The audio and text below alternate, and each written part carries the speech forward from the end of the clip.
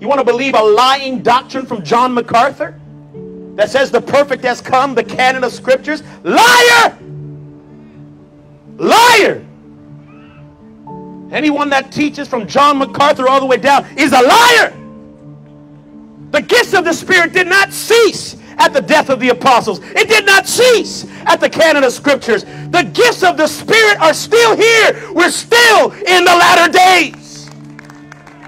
These liars and hypocrites. You might preach well, but where's the power? Having a form of godliness, but denying the power thereof. How can you deny the prophetic voice and say, I'm led of the Spirit? You ain't led of nothing but the flesh. You ain't hearing nothing. You're not hearing nothing if you deny his voice. When he speaks to you in the midnight hour and says, Wake up and pray. Did the Bible say that? Was your name written in the book of John? Say, Hey, George, wake up at 12 o'clock, 2022, July 23rd, and pray at 4 a.m. in the morning. Was that, was that the, is that the flesh? Is that a scripture? Or is that the voice of the Holy Ghost? Hey, Amen. It's Pastor David Lynn, and today we're talking about walking in the Spirit. It's such a beautiful thing to walk with God. Many of us came from a difficult past where we walked in the flesh and we did everything wrong and we reaped what we sowed. We reaped destruction. But how much more greater would it be to walk in the Spirit and reap eternal life? Today we're going to be talking about that at Christ Forgiveness Ministries. Stay tuned because God wants you to walk in the Spirit The passage we're going to start out today with is Galatians chapter 5. Amen. Galatians chapter 5. I'd like you to turn there, verses 16 to 24. If you have it in your Bibles or on your smartphone, you can pull up the Bible. It's good that you pay attention in the Bible because I could be saying lies. Amen. You know, you, you can't just take people's words for it. You got to test and see, make sure. That's how you get faith. Faith comes by hearing and hearing by the word of God. But if you're not sure that it's in the word of God, your faith will have no substance. So please follow along in the word of God and pray about what I'm saying. Seek the Lord and study the word. Be like a Berean that studies to see if what Pastor David is saying is true so that your faith would be unhindered. Amen. Galatians chapter 5 verses 16 says as follows and I'm reading from the King James Version. This I say then, walk in the Spirit, and you shall not fulfill the lust of the flesh. For the flesh lusts, desires, fights against the Spirit, and the Spirit against the flesh. And these are contrary the one to the other. They're contrary, enemies of each other. So that you cannot do the things that you want to. Okay? Very important verse, and I'm going to go slowly.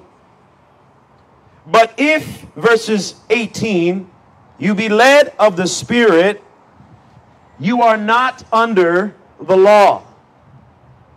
If you're led of the Spirit, you are not under the law.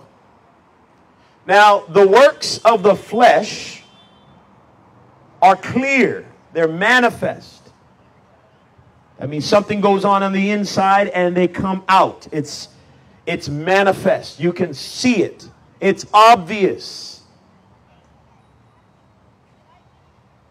Adultery, fornication, uncleanness,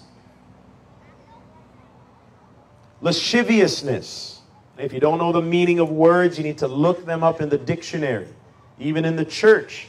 You don't know what lasciviousness means? Look it up in the dictionary. You don't know what adultery is? Look it up in the dictionary. Fornication, you don't know what it is? Look it up in the dictionary. You don't know what uncleanness means? I got to pray for you. Idolatry, witchcraft, Hatred. Who do you hate? Who's in your heart? Who won't you let go of that past circumstance? That thing that they did to you? Variance. Emulations. Wrath. Strife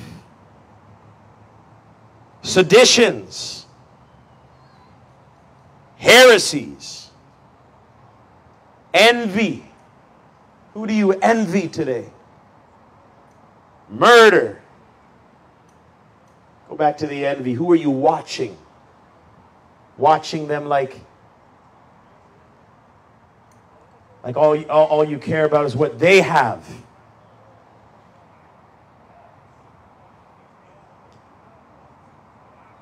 murder, drunkenness, revelings, and such like that. Things like that. Behaviors like that. This is the manifest work of the flesh. It doesn't come from the Spirit when you do those kinds of things. That's not spiritual. Doesn't matter if the pastor does it, doesn't matter if you do it, your best friend, your mom, your dad, it is not coming from heaven. It's coming from the flesh. Of the which I tell you before, as I have also told you in time past, that they which do such things will not inherit the kingdom of God.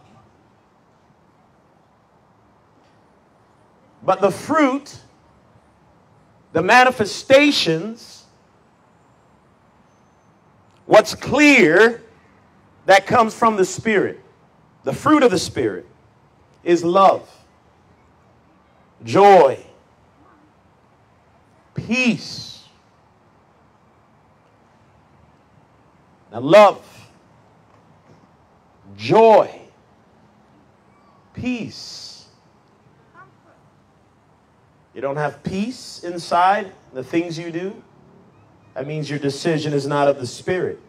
You're with a boyfriend, girlfriend, and you're doubting all the time, it's not from the Spirit. Something is warning you, a red flag, stop sign, stop in your tracks. Don't go that way. That's not from the Spirit. It's birthed out of the flesh. It's birth from the flesh, when there's no peace, patience, gentleness, goodness, faith. Faith, faith. Whatever is not of faith, the Bible says, is sin. Faith comes from the Spirit.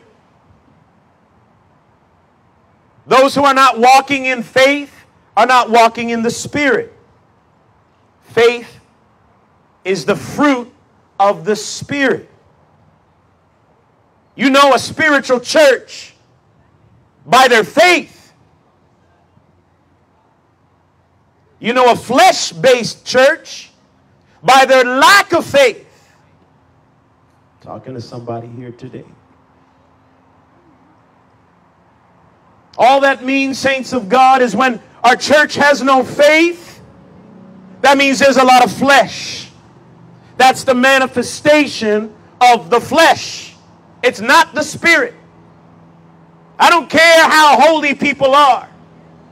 You see, I get written off, and I wrote a post on Instagram recently about some reformed believers. Now, it's not every reformed believer. I have some reformed beliefs. In fact, they're not reformed beliefs, they're biblical beliefs. I believe in the assurance of salvation. I believe that you can know that you're saved. I believe that. If we couldn't know that we were saved, we would be like the Muslims and the Hindus and everybody else out there wondering and searching, trying to do good works to work it up. I believe that the blood of Jesus Christ is what atones for my sin and for your sin, and we can be sure once we accept Him that we are saved. I believe in that. I believe we can stand firm, not because Pastor David said so, but he says, I give unto them eternal life, and no one shall take it out of the, uh, no, no, no, no man can pluck them out of my hands. The Father gave them to me, and he's greater than all. He says, For God so loved the world. There's something that you can hold on to when you believe and you have that evidence of your belief. So I believe in that.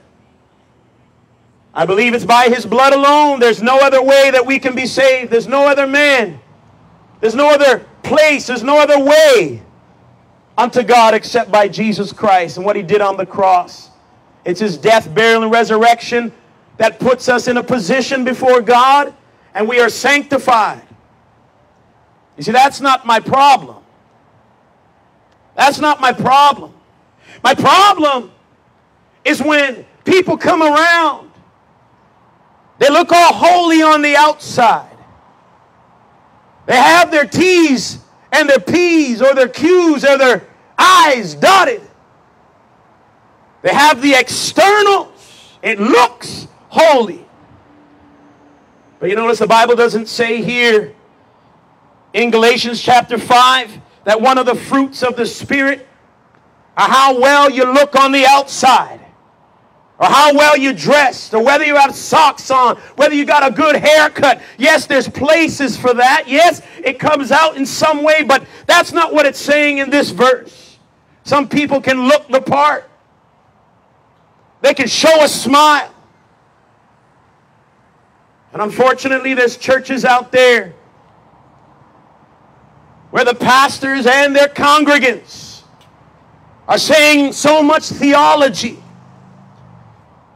and they write off the people that walk in faith.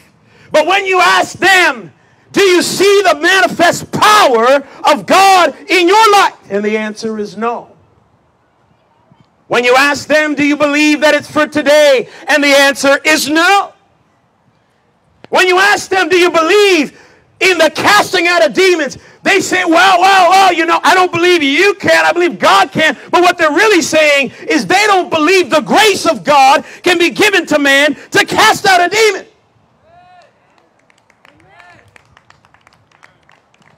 These liars and hypocrites, they deny the very Holy Ghost. They deny the power of God. They deny the Lord that bought them. You see, you see, it's interesting because there's heresies that deny Jesus Christ, the Son of God. Islam is a heresy. Jehovah Witnesses is a heresy, denies the divinity of Jesus Christ. Even the oneness theology, as much as you see them emphasizing the name of Jesus, they, they, they don't believe in the Son, they believe in the Father. They believe everything is the Father. But the Bible says that Jesus prayed unto the Father. There is a Father, Son, and Holy Ghost according to the Bible. But there's a movement that denies the Holy Ghost. And they will find every reason to prove you false when you believe and practice the gifts of the Spirit. They'll point to people that have long deliverances and say, well, if the power of God was here like it was then, it wouldn't take so long. But I'm here to tell you today that Jesus Christ called 12 disciples, and his disciples tried so hard on this one man, and, and they couldn't cast out the demon, and they came back to Jesus, and, and they said, Lord, we can't cast out this demon. What is going on? I want you to know that Jesus authorized them, gave them the power and the authority to cast out demons and heal the sick. But there was one situation that they came back, they couldn't do it. Now, this is as early as we can get in the first century. How much more sometimes is there a struggle 2,000 years later when Jesus said, Will he find faith on the earth? We're in the last days where faith is weak, love is weak. But imagine being at the time of Jesus Christ, where Jesus himself said, Go and heal the sick. knowing that the angels obeyed Jesus, knowing that the anointing, the presence of God, the very God in flesh, Emmanuel, was there, told his disciples to go, and his disciples went and they couldn't cast out a demon. Imagine the questions in their mind. Is Jesus who he really says he is? You see, nowadays, this generation, we have people criticizing people that cast out demons criticizing the gifts of the spirit and would even come come from a pentecostal church and leave and go to a church that's dead. I know a few of them. Because they themselves are dead on the inside. They were not trusting in the spirit. They didn't understand the mysteries of god. But they had an appearance of godliness. It looked all nice on the outside it looked pretty. You see, it's not, it doesn't take much to organize a church. Jehovah Witnesses do it every day. It doesn't take much to organize evangelism teams. Mormons do it better than any Pentecostal church.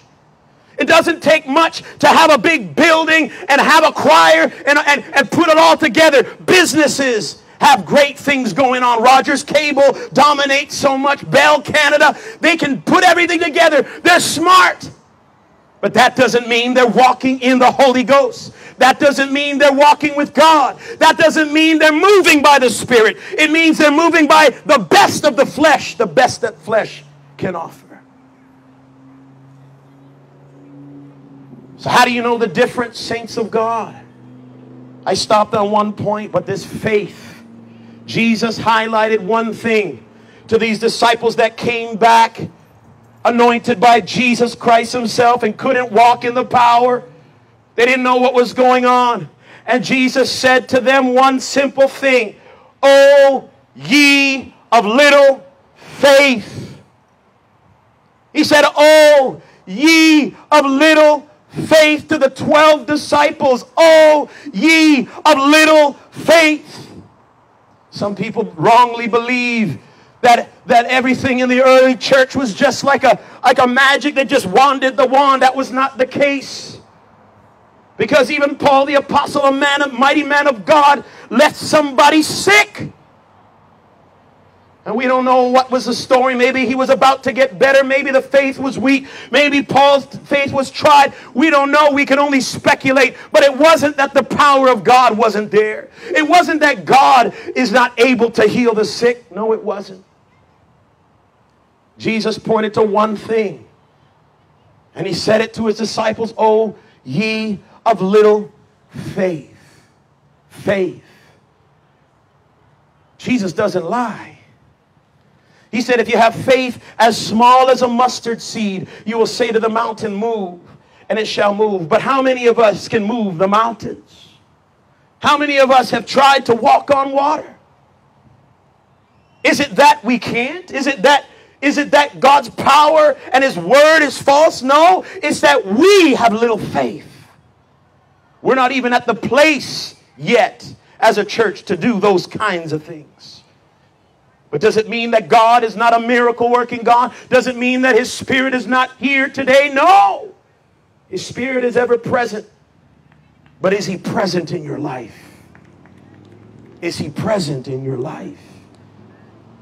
Jesus didn't lie. He said, "When to agree on anything, it shall be done. Whatever you, you have, you, whatever you pray with faith, it shall be done. Ask, and ye shall receive, that your joy might be full." This is the teachings of the Word of God. These are authentic scriptures from Jesus' own mouth. This isn't Pastor David. It's not a Pentecostal teaching. It's the Word of God. And if you're a literalist like me, if you believe in the Word of God, then you have to hold it true. You may not be there today, but I suggest to you that if you're a believer in Christ, you'll be there tomorrow. Because the believers in Christ go from glory to glory, from strength to strength. And how do we get there? It's a faith journey. The, the, the, it, it says here, we walk by faith and not by we walk by faith. We walk by faith. So it says the fruit of the Spirit is faith. Faith. Faith. I'll continue and I'm going to go into my message meekness, temperance, and against such there is no law. And they that are Christ's have crucified the flesh with his affections and lusts. If we live in the Spirit, let us also walk by the Spirit. Lord, have mercy. I wonder today if CFM is walking by the Spirit or are we walking by the flesh? Are we walking by faith? Are we walking by fear? Are we walking in power or are we walking powerless? Are we walking in the flesh, arguing, gossiping, not praying, not being temperate, not being patient? Smith Wigglesworth, a man that was quoted, witnessed by many people for doing hundreds of thousands of miracles. Hundreds of thousands of miracles, healings, deliverances, and he's not the only one. People like Reinhard Bonnke, even right from the pulpit, he would preach and people would get healed. He'd have, he'd have conferences with a million people in Africa going all around the world. Reinhard Bonnke, a German man. So many people witnessed his ministry. But Smith Wigglesworth said this He said, God wants to purify our mind until we can bear all things and believe all things. Hope all things and endure all things. Isn't that what the Bible says is love? Love believes all things, hopes all things, endures all things. I mean, you know, when, when you think about it in a relationship terms, you're married or you're dating somebody, and the Bible says love believes all things. Now, what that usually means in a relationship is that you're giving your partner the benefit of the doubt. You're believing what's good in their life. You're not believing the lies. You're not believing the, the voices in your head. You're not believing those things. You're believing in your spouse. You choose to believe the best, not the worst. Even when your flesh says one thing, the spirit inside of you says another. This is love. You believe all things. You hope all things. You see, when you love somebody and you have hope and you're hoping all things, that means when it's bankrupt, when everything is messy, you still have something to hold on to in hope, believing because you love them. Your love is genuine. When your love is tested, it stands the test of time. This is love. Hopes all things, not some things, all things. And it endures all things. But let's apply that to God. The Bible says the first commandment is to love God with all your heart, soul, mind, and strength. So, how do we apply this to God? Love believes all things. Wow, come on, somebody. I don't know if you're seeing this with me, but if you love God, you will believe all things for God. That means when you're walking in the valley of the shadow of death, you believe the best about God. You believe that He's going to bring you through that valley. You believe that when you're sick, my God is a healer because He said so. You believe all things. You see, when you believe all things for your wife or for your partner, you believe it to a point in the limitation of a human being. You believe all things in a marriage. You believe all things in a dating relationship. You believe all things in an engagement relationship. But when you approach it to God, you can't be a real believer believing in God with all your heart and deny that He has the power to heal, that He has the power to deliver, that He has the power to save. Because my God, His hand is not too short that it can't save. You must believe all things. Hope all things with God. What are you hoping with God? What are you hoping? What are you enduring with God? Endures all things. This is my entry point to the beginning of this message. He says here, Smith Wigglesworth, but you cannot have this divine power until you live and walk in the Holy Ghost until the power of the new life is greater than the old life. Think of that for a moment.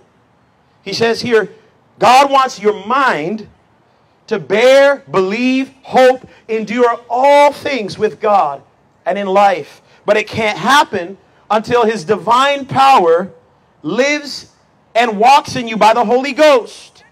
And the new life is greater than the old. What does the old life say?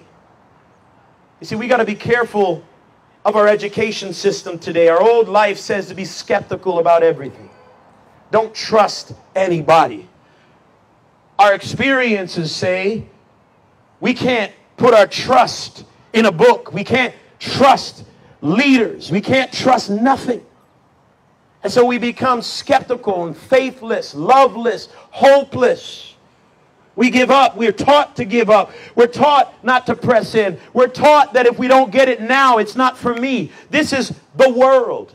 This is worldly thinking. How many churches are thinking worldly? No wonder they're giving in to the worldly appetites. No wonder they're doing things opposite to the word. No wonder they're not evangelizing. No wonder they're not praying in tongues and seeking God and pro- no wonder because the world has influenced and infiltrated the churches of the world. They're walking in flesh. And so they don't see the power. They don't see it. They're thinking like the world. But Smith Wigglesworth says that the Holy Ghost has to be so powerful in you. The new life has to be so powerful in you, much greater than the old life. And we see that comparison in Galatians chapter 5. This is what flesh looks like. This is what spirit looks like.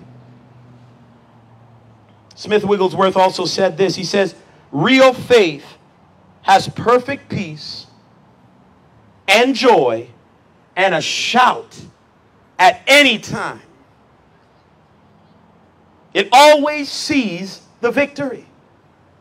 Isn't that interesting? Real faith has perfect peace and joy and a shout at all times. You see, when your faith is perfected, you can praise God. You see, one of the evidences that the Spirit of God lives inside of you, that God has deposited something inside of you, is your praise. Is your praise. The flesh does not praise God. I'm going to make it clear. The flesh does not praise God. The flesh doesn't want to praise God. How can it? The flesh wants its own appetite, its own pleasures. It wants, it wants everything but God. It's contrary to the things of the Spirit. But praise, Psalms 40, in the Word of God says, He has put a new song in my mouth, even praise unto our God. It's a deposit. Another scripture says in the book of Psalms, says this it says, I'll just read it here, one second here. Hallelujah.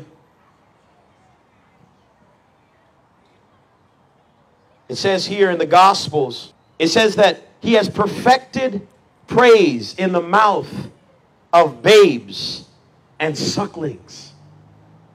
He has perfected praise in the mouth of babes and sucklings. And we're talking about walking in the Spirit. But a big part of that starts with faith. We can't walk in the Spirit unless we have faith. Why has God perfected praise in the mouth of babes and sucklings, babies and infants, newborns? What does that mean? Well, I remember when I first gave my life to the Lord, how on fire I was. I was excited for everything about God. I would tell everybody about Jesus. I never read the entire Bible. I didn't know what I was talking about. I couldn't win Muslims or Hindus or anything. All I knew was I was saved from my sin and you need to turn away from your sin and believe in Jesus. That's all I knew. And that's all I preached. And I told everybody everywhere that I went about Jesus. Now, when we get older in the faith and we start learning tactics and techniques and how to speak properly, we look back at those moments and say, oh man, what a goof. I didn't say this right. I remember in those days when someone asked me a question about the Bible, it would take me literally 20 minutes to find something in the Bible. I remember people going up, What does the Bible say about drinking? You know, it says something. Give me one second. And I would spend 20 minutes, literally. And he would say, Did you find it yet? No, no, no. Hold on, hold on. And I'd go through the entire Bible. I'd, I'd literally be doing speed reading. Wine, wine, something, something. And anything that came up, here you go. I didn't know the full context, the fullness of scriptures, but I just knew that God was against certain things. So I, I, I just found something. Now, when I look back, you know, I say, man, I really didn't know what I was talking about. But you know what? My heart was full of praise. My heart was full of peace and joy. I want so many souls to Jesus because they saw the power of God on my life. So, what am I saying here today? Why would God use babies and sucklings who don't know anything to praise God? You know why? Because God's not worried so much about your fleshly mistakes, He's more worried about your heart. I'm going to say that again. God's not so much worried. I'm not saying God's not going to fix your mistakes. He is. He's going to fix you all up. But he's not so much worried about that because he knows that we fail. But he also knows that if your heart is in the right place, it doesn't matter how educated you are.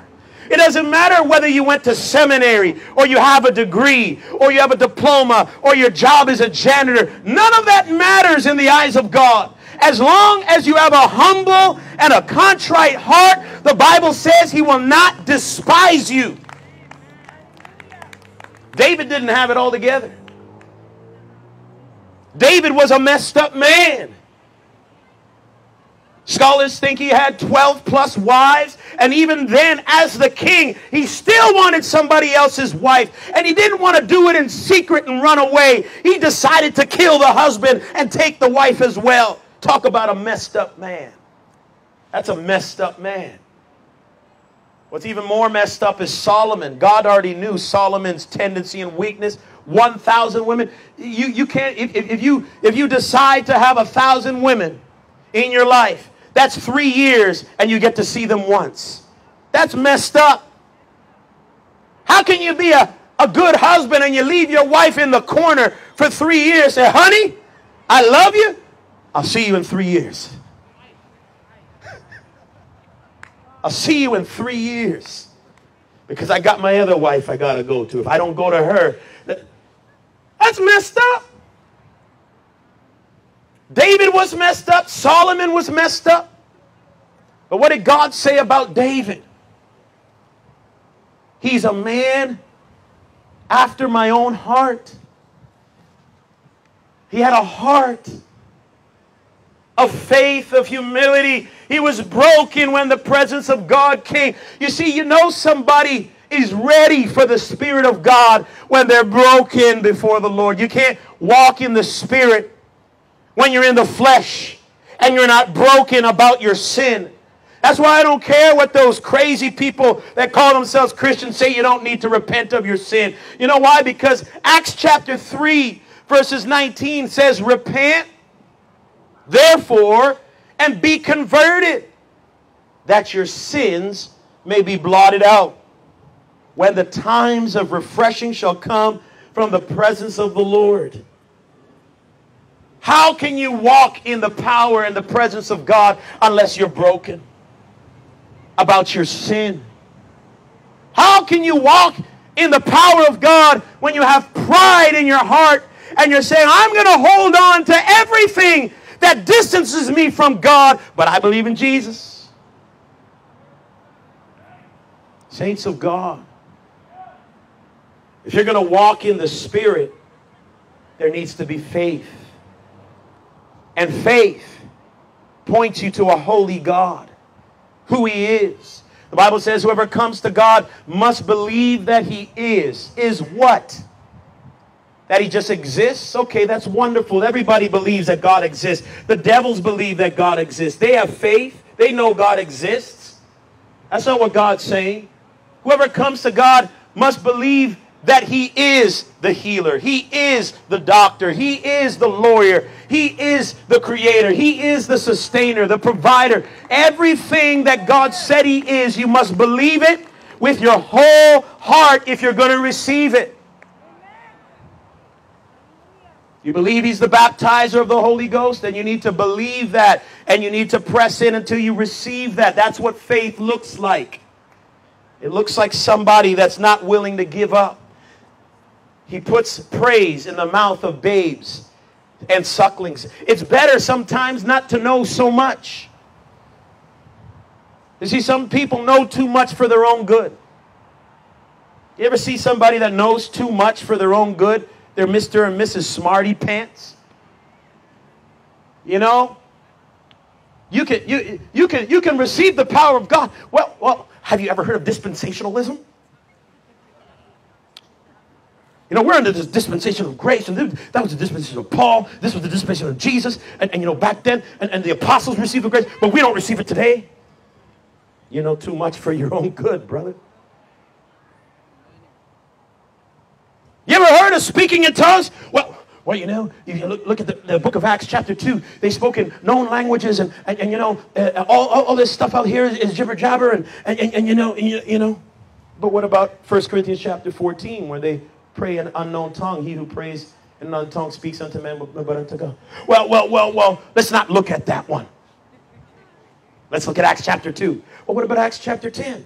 What, Acts, what about Acts chapter 19? Well, you know what? I'm a reformed believer, so, so it doesn't matter what you believe. You, you, you cra- charismatics are crazy. You know too much for your own good.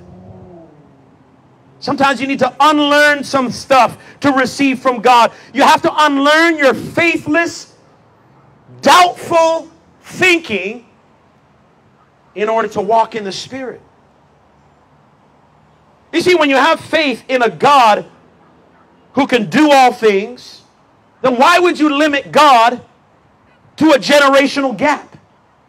When did God say, I'm the same yesterday, I've changed for the last 1600 years, and I will remain like that until I come. When did God say that? I don't remember God putting that in Scripture. The Scripture that I know, Jesus said, the Word of God says, He is the same yesterday, today, and forever. So if He was the same then, He has the same mind now. If he wanted them to be filled with the Holy Ghost, then he wants you to be filled with the Holy Ghost now. And if he wants you to be filled with the Holy Ghost now, he wants you to be filled with the Holy Ghost later.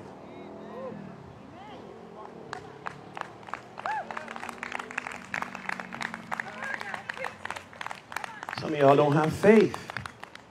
Listen to me, saints of God. You need to understand something. Any theologian, or rather, any atheist teacher can read the Bible and tell you what it says.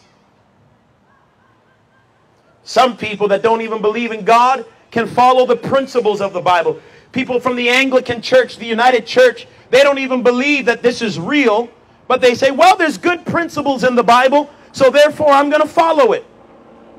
And so you have priests and a whole congregation of people reading the Bible, following the principles of the Bible, but do they have the Spirit of God? Absolutely not. What happened to the Pharisees? People that knew the scriptures better than anybody else. They read the scripture, quoted the scripture, went to synagogue, fasted and prayed, weared everything that they were required to do. But when they bumped into Jesus Christ, they couldn't figure him out. And some of them even blasphemed the Spirit and rejected him and put the Messiah that the scriptures speak about to death which is what Peter, Peter said. You put the Prince of Life to death, whom we are all witnesses. How can you read the scripture and not be led of the Spirit very easily? Because just because you read the scripture, it doesn't mean the spirit that wrote the scripture is inside of your heart. Doesn't mean that. You see, some people hear a good word from Oprah Winfrey or somebody out there. Okay, I'm listening. But it doesn't make them. It doesn't make them exactly like her or have the same spirit as her necessarily. Just because you hear the word of God, it doesn't mean you have the spirit. You see, if you have the spirit, you will never deny the gift of prophecy for today. Never. Impossible. Anybody that denies the Spirit of God, the Spirit of prophecy for today, you don't have the Spirit of God. I will say that straight up because the Bible says, I will pour out my Spirit upon all flesh, and your sons and daughters will prophesy. The Bible even says in the book of Revelations that the gospel of Jesus Christ is the spirit of prophecy. You can't have the Spirit of God living inside of you and be guided by the Spirit if you don't believe in prophecy. Because if you're guided by the Spirit, that means you're hearing the voice of God. And how can, just because you read the Bible, you need to still interpret the Bible. You still need to have the right doctrine of the Bible. And some people read the Bible, preach the Bible, but have the wrong doctrine of the Bible. When they came to Jesus Christ, they said, What manner of teaching and doctrine is this? He doesn't teach like the scribes and the Pharisees, but he teaches with authority. That's a different doctrine altogether. You see, the believers in Christ, the doctrine they have is the doctrine of authority. Hallelujah. Well, the place went silent all of a sudden. Hallelujah. The doctrine we have is the doctrine of authority. No wonder, no wonder they casted out demons. No wonder they healed the sick. No wonder they walked in faith. No wonder they did supernatural miracles. And you know what? For those of you today that I just need to teach you and teach you something biblical and in the early church, you need to understand something true today. The gifts of the Spirit, the miraculous gifts, speaking in tongues, prophecy, was in operation all the way until roughly around the 300s of the early church. It didn't cease at the apostles' death. So get that out of your mind. I don't know where you what what Baptist teacher taught you that. It's unbiblical and it's not true. It's not true. The gifts of the Spirit were still in operation. The texts of the Word of God were all recorded by 100 AD and passed around, circulated. People had different canons and so forth. And all the way into the 1600s, they were disputing about what books should be in the Bible. There was different canons. Even till this day, the Orthodox Church has one, Catholics have one, uh, Protestants have one. They used to include the Apocrypha. There wasn't just 66 books in the Bible in 1611. Did you know that? Even Martin Luther was questioning the book of James. He questioned the book of Hebrews, but he wasn't right. People were disputing about the canon all the way into the 1600s. So, what belief do you want to believe? You want to believe that when the perfect has come, which is clearly Jesus, you want to believe a lying doctrine from John MacArthur that says the perfect has come, the canon of scriptures? Liar! Liar! Anyone that teaches from John MacArthur all the way down is a liar. The gifts of the Spirit did not cease at the death of the apostles. It did not cease at the canon of scriptures. The gifts of the Spirit are still here. We're still in the latter days. These liars and hypocrites. You might preach well, but where's the power? Having a form of godliness, but denying the power thereof. How can you deny the prophetic voice and say, I'm led of the Spirit? You ain't led of nothing but the flesh. You ain't hearing nothing. You're not hearing nothing if you deny His voice. When He speaks to you in the midnight hour and says, Wake up and pray. Did the Bible say that? Was your name written in the book of John? Say, hey, George, wake up at 12 o'clock, 2022, July 23rd, and pray at 4 a.m. in the morning. Was that, was that the, is that the flesh? Is that a scripture? Or is that the voice of the Holy Ghost? Yes, it's the voice of the Holy Ghost. When he says go right and go, go, go left, that's the voice of the Holy Ghost. That's not written in Scripture, saints of God. This is prophecy in operation. When God gives you a dream and says, don't go with that woman, don't go with that man, that's God's prophetic voice speaking to you. You better listen. You better listen. You better listen. You got to be careful who you listen to. Because some things sound so good. The devil says 99% truth, but that 1% lie fouls it all up. Just like the Muslims, we believe in Jesus. We, we, we, we believe he was virgin born and did miracles and he was a holy man. Yes, wonderful. But do you believe he was the son of God and died on the cross? Well, we don't go there. That's not true. Well, you've denied the biblical Jesus. You're a liar. Your prophet's a liar. And you're all on your way to hell if you keep up that lying doctrine. You got to repent. Got to repent. You need the truth. Only the truth will set you free You can't walk in the Spirit if you're walking in the flesh. You can't walk in the Spirit if you have no faith. You need to have faith. Saints of God, how can you receive the gifts and you, and you say it's not for you? It's because you have no faith. Don't blame God. Don't blame God. Now, what are some things that stop somebody from walking in the Spirit? Well, there's a few things. There's, we can have hindrances. Now, some people wrongly believe that they're right with God, but they haven't done a soul searching yet. They haven't done a soul cleansing yet. They haven't gone deep enough to know the hidden parts that's separating them from God. And it can be something so small sexual vice.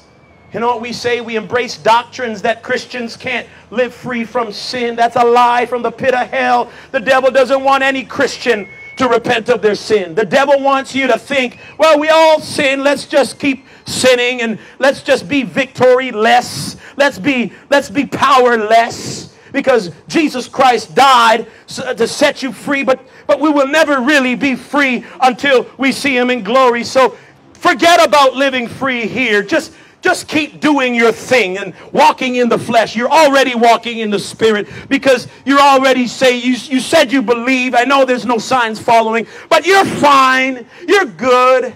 Keep sinning. Keep watching porn. Everybody does it. That does not sound like the voice of the Holy Ghost. Does it? Some of you are confused because that's what they teach. They teach you can't overcome. But how is it? How is it then that Muslims, some Muslims coming from drug abuse past, they somehow overcome their drugs and they and they live drug free? How did they get the victory? Some of you were drunkards all your life. How did you give up your drunkenness and stop drinking and you can't overcome your sin? Who told you that? The Bible says, whoever the Son sets free is free indeed, for sure. You see, sometimes we, we hold on to doctrines that don't allow us to be free. Now, some of you are what you're going to do to justify your foul doctrine. You're going to point the finger and say, Well, what about you? Don't worry about somebody else. You know why? Because they might just be living in willful sin or some kind of sin. You just have to worry about yourself. I'm not going to base my faith on you. You're not my standard. The Word of God is my standard. And if you're going to be filled with the Holy One, then it's impossible for you to live unholy. Hallelujah. Hallelujah. Hallelujah. I feel, I, I feel that there's, there's mental strongholds in this place. That people wondering, wondering, well, where does that leave me? Well, you know where it should leave you? Convicted. That's where it should leave you. It should leave you humble It should leave you in a place to say, Lord, I need you now. That you see, that's what it that's how you get filled with the Holy Ghost, is when you hold the standard up to where it should be, holy and perfect and righteous. And when you stand before that righteous God and realize that you're broken, that's when you get on your knees and cry and fast and spend time in the words of God and in prayer. And then you're going to start to see the overflow of emotions come down in tears. Have you suffered until death like Jesus? Have you even suffered for your sin to the point of tears? Where something is so hard, where you just need to, I'm in the middle of a sermon, brother, don't interrupt the preacher. Have you ever suffered to the point of tears? Where your tears brought you to a place of repentance? Where your tears would keep you in the bedroom seeking God until you get a breakthrough? Have you ever been to that point of agony, of moaning? And I'm not talking about just putting on moaning and making some noise just for the sake of noise. I'm talking about the point where you're trying to overcome something and you're rolling on the floor and you're saying, I'm not going to sin because I have my God. I want my God in my life. Where, where you close your eyes, where you're even willing to put on a blindfold and look like a fool just so that you can walk with God and receive the filling of the Holy Ghost. Have you ever done that? And yet you cry and say, It's not for me that you say, I'm fine, I'm sanctified already. Well, there's two types of sanctifications. There's the one that brings you close to the Lord, and it's the one that brings you really close to the Lord. Amen. You want to be saved? Amen. You can be sanctified, believe on the Lord Jesus Christ. But you want to be filled with the Holy Ghost? You need to be sanctified in the name of Jesus Christ. The Bible says those who belong to Christ have crucified their sinful nature and the desires. How can that scripture mean anything unless it was a fact? Where these people really took God seriously. I believe that there was such a strong anointing on the early church that people would be afraid to sin in the presence of God. Do you know that there was even a, a movement and a, and a teaching where people believed that the moment they get baptized, they could not make one sin after that? Many early church, many of our brothers and sisters would look at us today and disown us.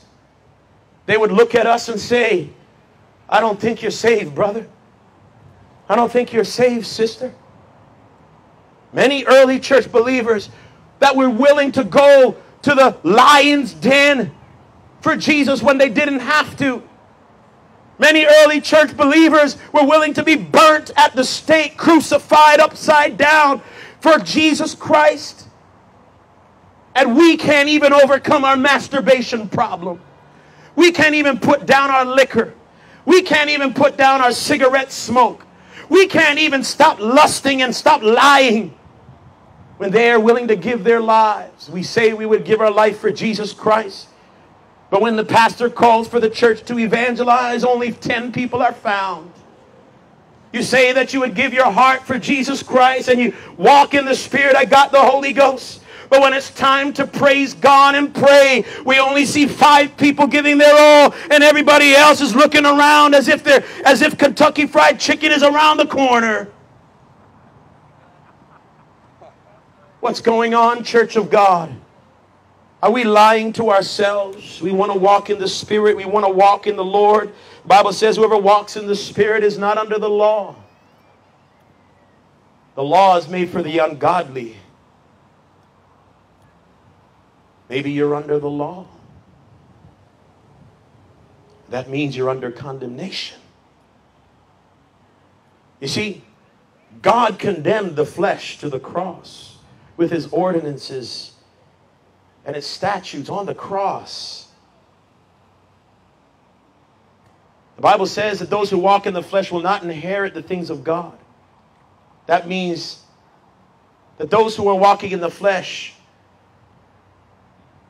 will receive the condemnation.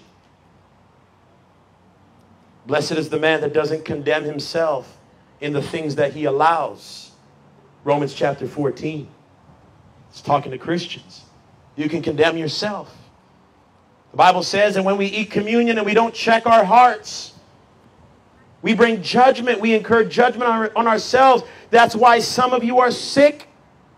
And some of you die because we incur judgment on ourselves. And we go through this cycle over and over and we wonder why we're not getting the breakthrough. I always use my workout as an example of where I'm trying to go and where we need to go because I can keep saying every week, I want to be slim. I want to be in shape. But if I never, if I never stop eating certain things, stop eating in the night, if I, if I, if I never drink water, it doesn't matter how much I say it, I will never receive it. It's the same thing with the Spirit of the Lord. If you want to be filled with the Spirit of the Lord, you want to walk in the Spirit. You can't just keep saying it. You can't keep coming to church, coming to the altar with an unclean heart. Asking Pastor David to lay his hands on you when your heart is unclean. You're not ready to receive it. And I don't know anyhow. I'm not here to judge you. It's not even me. It's Jesus that's going to baptize you.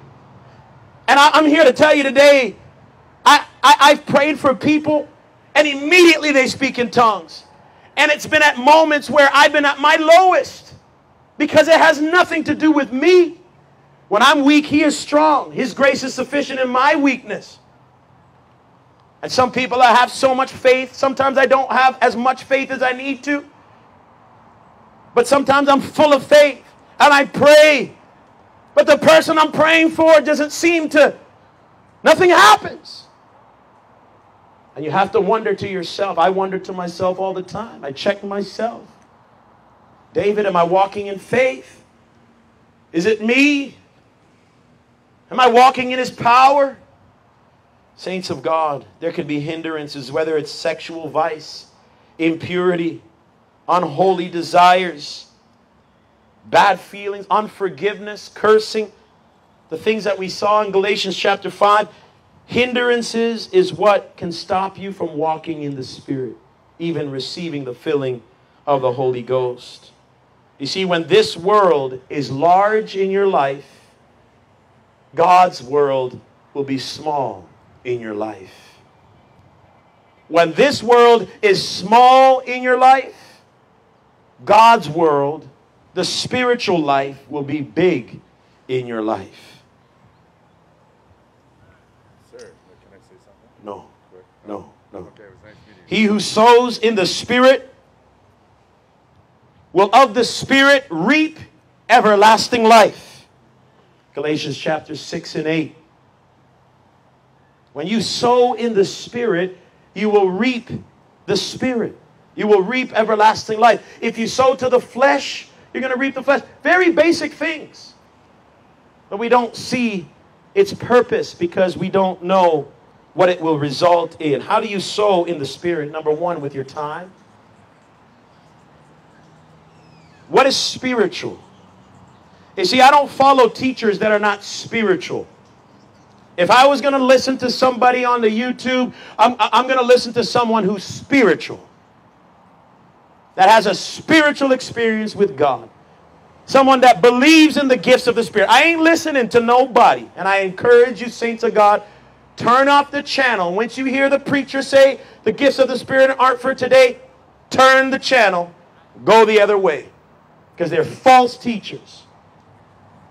You can quote me on that. You hear that? You can quote me on that. Now, there's false prophets too. That you see, the false teachers will look at the false prophets, but I don't care about the false. But they're they're false too. There's false prophets, but there's false teachers. But then there's that which is true. And that which is true lines up with the Word of God and doesn't deny the power of God. Hindrances. You need to spend time with God. Time. Time with God in the Spirit. Time with God. Spiritual things. The Word of God is spiritual. Spend time reading the spiritual words of God, the Bible. Spend time in spiritual things like prayer, Prayer is antithetical, it's opposite to the flesh. The flesh doesn't want to pray. You know if you're walking by the Spirit by your prayer life.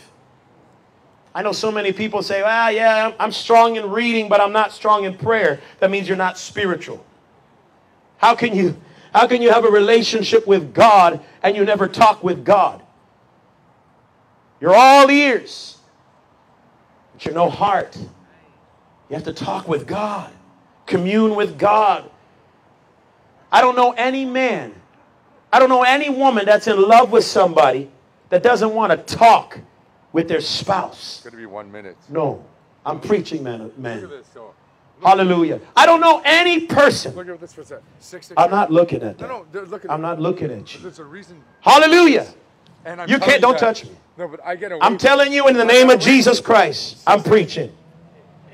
I'm preaching. The devil's no good. The devil is a liar. You, you- you know what? I'm away from this. This is, I'm going to tell you something. This morning I had a dream. Three dreams. You know what my dreams were? In the morning when I was sleeping on my bed, I had this wicked cat come and jump on my back I got 666. and was attacking me. And I was, get off my back, get off my back. And the, and the, the cat didn't want to get off my back. But I kept fighting off that cat. Get off my back, get off my back. Another part of my dream, I was walking towards the things of God. And I don't know where this happened. A big spider web jumps in my face.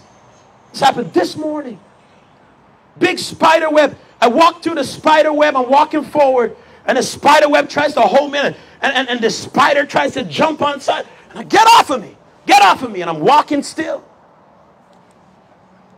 You know what I noticed in this walk? The more I talk about the gifts of the Spirit, the more demons show up.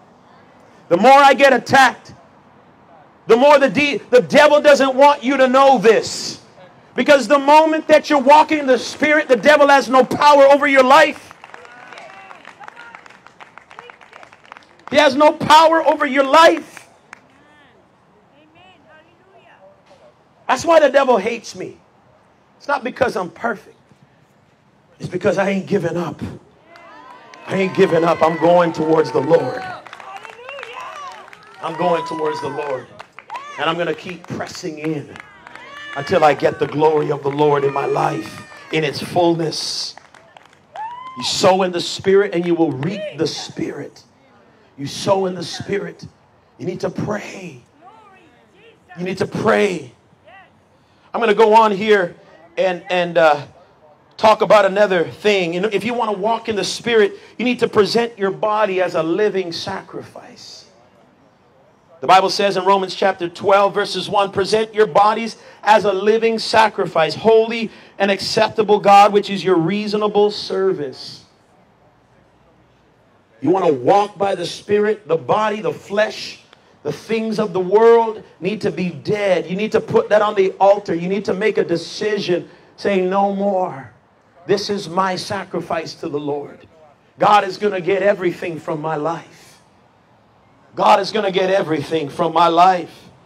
And I'm going to make myself available for the Lord. You see, when you're dead, when you're on the altar, when you're dead, that's when you can, that's when God can use you. You see, when you're a broken vessel, God can come in and fix you. When you're an empty vessel, God can fill you. But God can't fill somebody that has their vessel already filled with their own sin and their own desires and their own fleshly ways. This is why I marvel. I marvel when, I, when, when you mention certain passages to, of the Word of God to certain people and they say, Well, I, I'm not convicted of that yet. Well, get convicted. The Word of God says it. So believe it. I'm not there yet. Well, you know what? You know, there's a lot of places I'm not there yet, but when you call me out, I'm like, I'm there with you, brother. Let's walk this journey. Last week we had the Olympics. I'm not a long distance runner, but I said I'm getting in that race. Amen. Even if I have to walk the extra mile, even if I have to be the last in the line, I'm going to run with you. Why? Because I'm going to get in shape and I'm going to be a winner like everybody else going through the finish line. Doesn't matter how slow you are.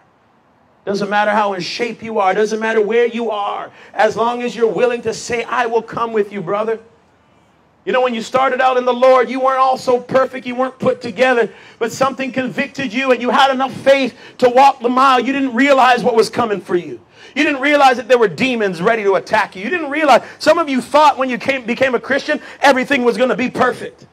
You thought that. My life sucks. Now I'm going to get a, a better life. I'm going to accept Jesus. And then the moment you accepted Jesus, you lost your job. You lost your friends. Your dad thinks you're crazy. Your mom thinks you're weird. And everyone turns their back on you. Your neighbors don't want to talk to you. And, and then you look to God and say, God, I thought you were going to bless my life. What you don't realize is that God is blessing your life. He's preparing you for something even greater. But you got to learn to appreciate it and lay aside the things that matter. Those things don't matter. You got to learn to let go of your pride. Your neighbor's opinion doesn't matter. Your opinion of your mom and your dad doesn't matter if it's opposed to the Lord. It doesn't matter what everybody else says, who friends leave you. If they were real friends, they would have stayed with you anyway. You see, God wants you to get over the things of this world so you can be above the things of this world. You see, his friends, Jesus' friends leaving him didn't stop Jesus from going to the cross. The, the ridicules that Jesus went through didn't stop Jesus from preaching. The family members of Jesus that, that made fun of him didn't stop Jesus from doing miracles. The Pharisees that accused Jesus of being Beelzebub and, and, and walking by the power of Beelzebub, he still continued to raise the dead, heal the sick, and cast out demons. He still did it anyway. You know why? Because his mind was above and not on the earth. This is how you walk in the Spirit, saints. This is how you walk in the Spirit. You have to present your body as a living sacrifice. Another way to walk in the Spirit is by praying in the Spirit. Very interesting. I've spoken about this so many times praying in the Spirit. If there's such thing as praying in the Spirit, that means there's such thing as praying in the flesh. Am I right? Now, one thing that's easy for everybody is praying according to the will of God. That's spiritual. That's a spiritual prayer. If you pray scripture, you can't be wrong. Amen? You can't be wrong by praying scripture. But sometimes people don't know which scripture applies to me. Well, that means you need to get to know God. But how do I know God? Well, you can say by reading the Word. But is study just is study good enough? So many people study the Word of God and, and they don't know God. Well, this is where we get down to experience. You need, if you want to know God, you need to have an experience with God. You need to have an experience with God to know God. You need to have an experience with God to know His Spirit. You need to have an experience with God to move in the Spirit, to walk by the Spirit. You need to have an experience. But, Pastor, how do we have an experience? How do we have an experience? Well, you need to sow in the Spirit. You need to pray. You need to ask the Lord. Spend time with God. Surrender your body. You know, if you wanted to start somewhere, the best place to start is repenting of your sin, getting everything out of the way. That's the best place to start. You see, if I wanted to get in shape, the best place to start is in my kitchen boards. Get rid of the potato chips. Throw away the pot, throw away the alcohol, the beer, whatever it is, the nachos, the pretzels, throw it away. I was thinking to myself, wouldn't it be amazing if somebody started a career to keep people accountable to their diets in the sense that they'll go to your home and put a chain on your kitchen door. You'll have to make an agreement to put a, a GoPro on you at all times, a tracker on your car and in your shoe. Just so that ever, if ever somebody sees you walking to No Frills or fresh Freshco, or, or to, to Harvey's, access to your phone. Somebody, I'm giving somebody a career idea. And so anytime and there's an alarm, there's it's like a child proof on your on your computer. A camera in your house. Wouldn't it be great so that that person is guaranteed to lose weight. Well, saints of God, if you want to be filled with the Spirit, and the, the thing that you should start off with is getting rid of the blockages, the things in your way. And when you get things out of the way, then the only thing that's before you is God and the devil. That's it. If you get the flesh out of the way, you're going to hear two voices. Well, you might hear three. You might hear your flesh groaning. Give it back to me. You'll be surprised how, how loud that voice can be. You think it's a demon. That groaning in the belly. Give me back that burger. The taste buds will, will start to manifest even though you're not eating anything. Then the devil will come. You can, you can eat, you know. But then God is going to be there. Come closer. Come closer. Getting rid of sin is the first step. Saints of God. Obeying the promptings of the Holy Ghost. My sheep hear my voice and follow. I'm going to close off with these few sayings from Reinhard Bonnke. This is what he says when it comes to walking in the Spirit, walking by faith. He says, Don't plan what is in your pocket, plan what is in God's pocket. Faith is a kind of immune system filtering out fears that otherwise would paralyze all activities. Faith is a leap into the light, not a step into darkness. Faith is not a presumption, but assumption you rightly assume that God will never let you down and thus enter into rest. Faith is not the absence of fear, it is the conquest of fear. Faith is the vital principle of prayer. Faith removes mountains which unbelief creates. Go for the purposes of God, and the means to fulfill them will follow. God always hears prayer. He cannot make it obvious but he hears every time we move our lips. God always works with workers and moves with movers, but he does not sit with sitters. You understand that one? You can't sit with God. God answers prayer. For every deadline, he will throw you a lifeline. Keep believing and be blessed. God has a thousand year calendar with only one day marked on it. It is marked today. I don't want to play with marbles when God told me to move mountains. That means you got to think bigger. Don't, don't limit yourself.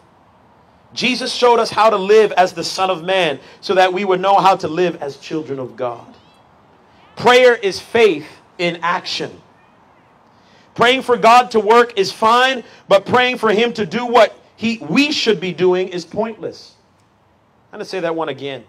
Praying for God to work is fine, but praying for Him to do what we should be doing is pointless. What did Jesus tell you to do? Go out and preach, lay hands on the sick, cast out demons. He already gave us authority. The Bible, my phone just died. Praise the Lord. Can somebody praise the Lord? Hallelujah. I got enough. I got enough. Got to move by the Spirit. Amen. I want everybody to stand to their feet. Hallelujah. Walk in the Spirit. Hallelujah. I was saying briefly, and I went somewhere else. I said, you know, if there's a prayer in the Spirit, there's a prayer in the flesh. You know, when we're praying in the flesh, we're praying with doubt, we're praying with fear, we're praying with pride. We're not letting the Spirit of God take control.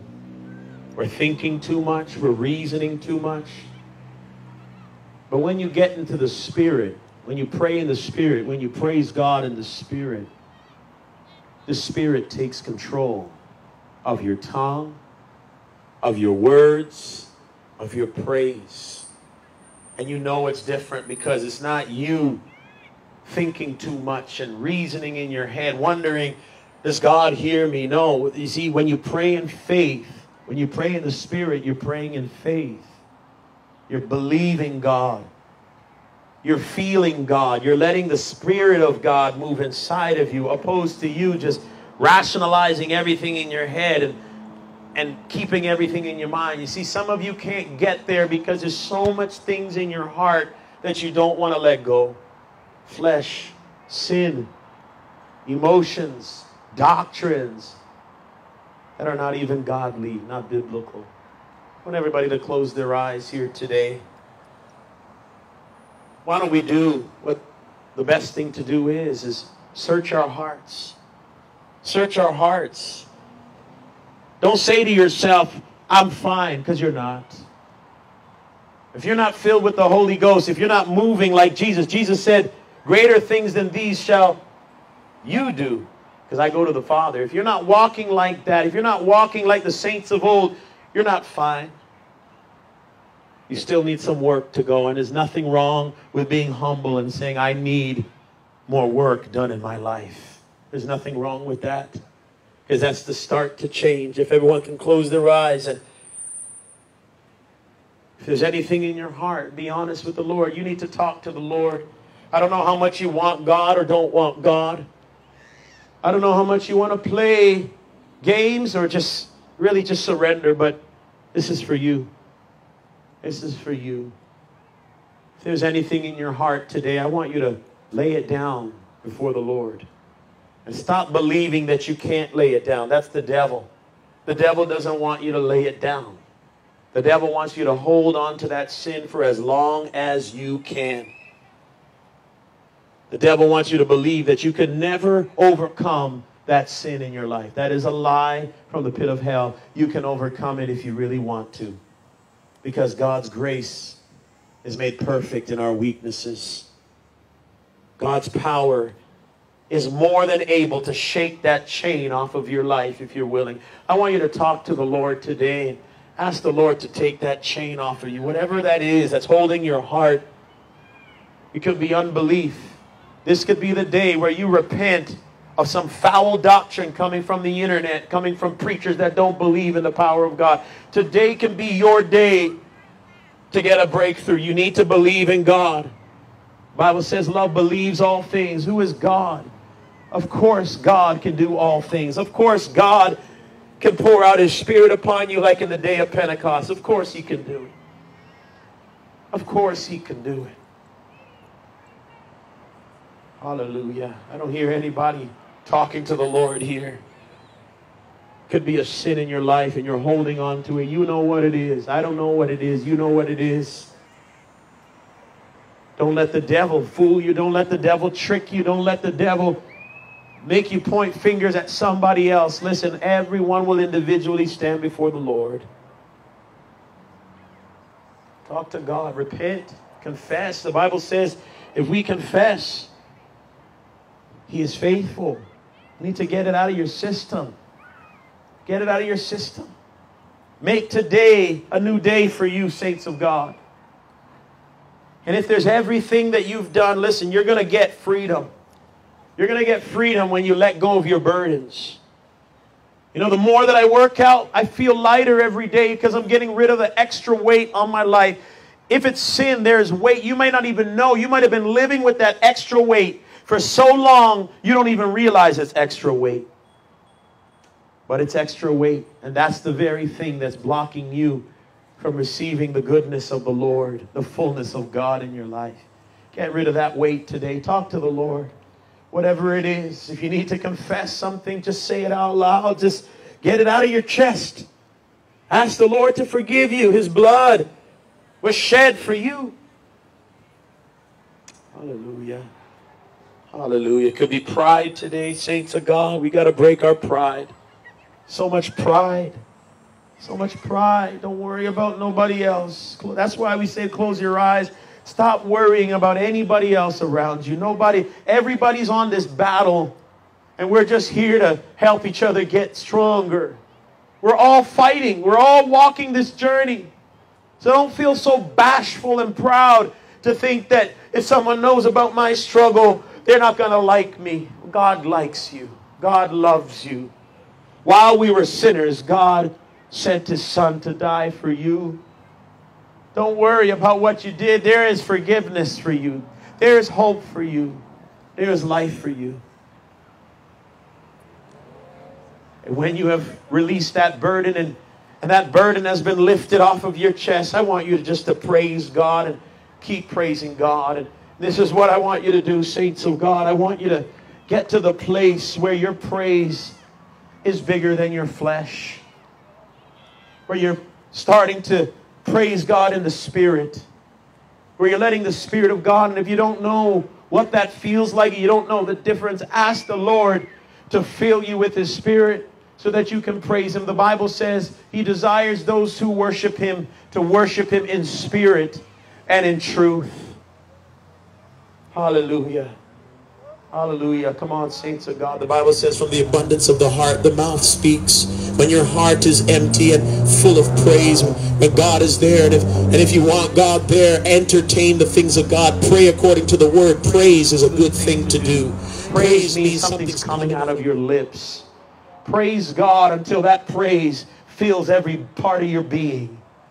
That's how you do it. You want to know how to do it? Walk in the Spirit. Pray according to the word. Praise God according to the word. Let everything that has breath praise the Lord. That means something has to come out of your lips, saints of God. And don't just stop with a praise God and stop because somebody else stopped. That's flesh. You're still doing it in the flesh. You're worrying about the person beside you. You need to stop doing that, saints of God. CFM, come on, C- CFM. Praise God like you mean it. Praise God from your heart. Open your lips and praise Him from your heart. Stop thinking in the flesh. Stop reasoning in your mind. And start to praise God like you love Him. Feel your praise. Feel your praise with God. This is not time to think too much and doubt. I, I see a lot of doubt in this place.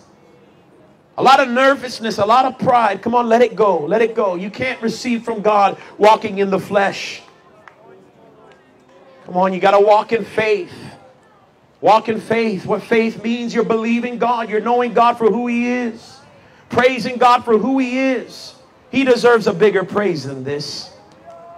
He deserves more from you than this, this silent, passive treatment. Silent treatment. Don't give God the silent treatment today. Talk to God even if you have to cry to get it out.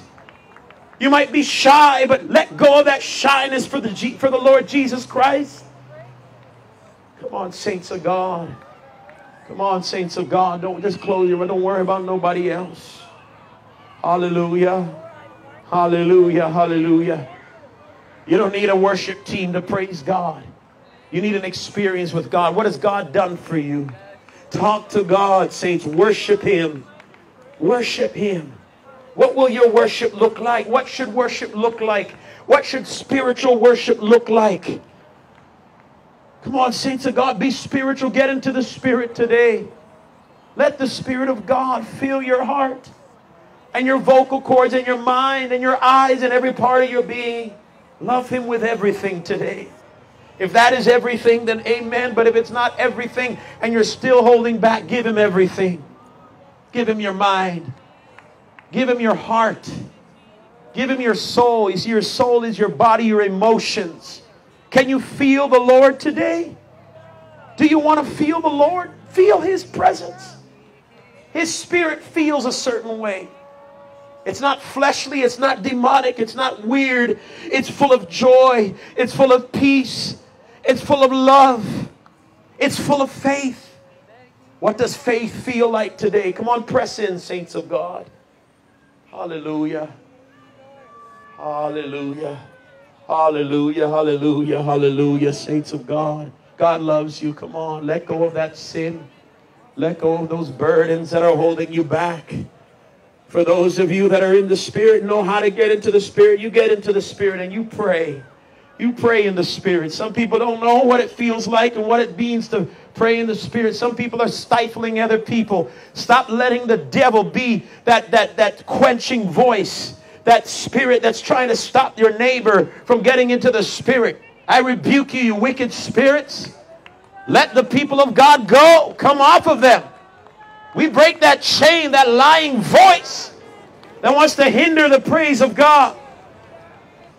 Stop letting a hindering spirit, an intimidating spirit, stop the people of God from praising. You may not understand it. You humble yourself in the sight of God and let the people praise God, even if it sounds weird to you.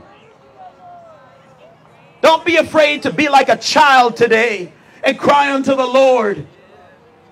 Hallelujah. Kids, they know how to step out of faith. They can't speak the language. They say goo goo gaga, ba ba ba ba. They, they cry to the Lord because they're reaching out. They're stepping out in faith with whatever they got. They don't understand nothing, but they love God. They love their parents. They need help. Call unto the Lord.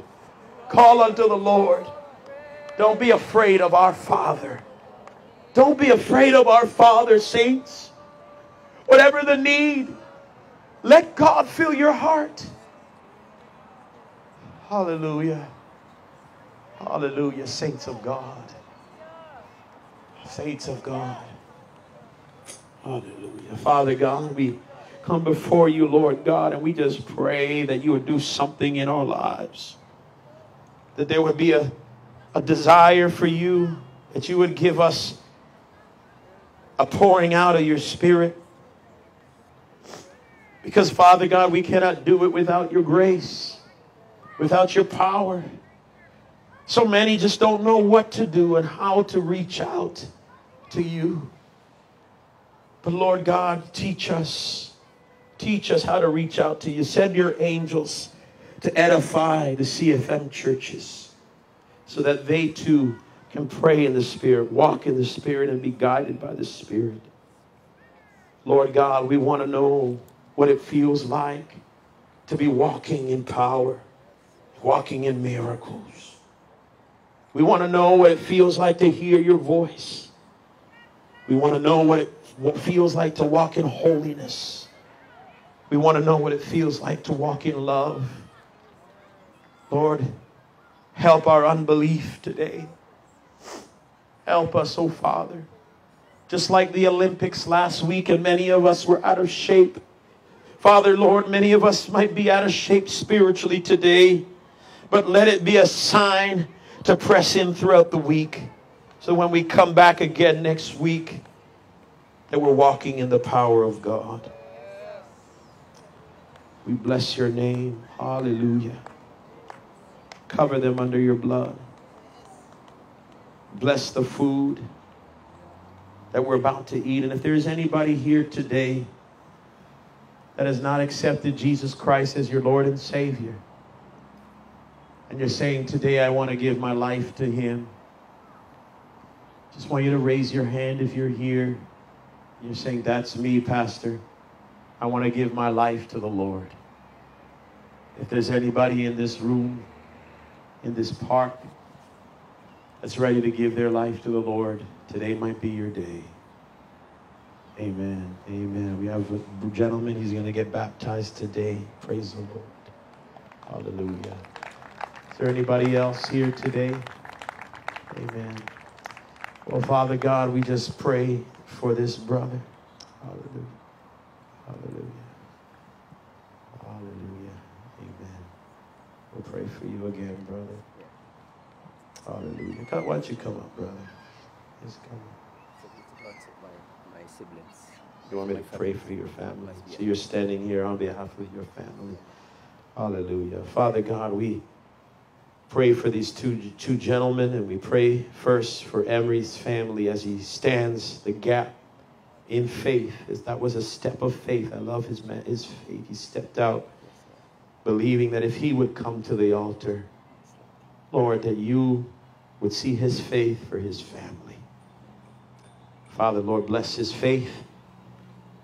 May his family come to you as he walked up to this altar. May they walk to the altar of God today and give their lives to you in Jesus' mighty name and fill them with the Holy Ghost.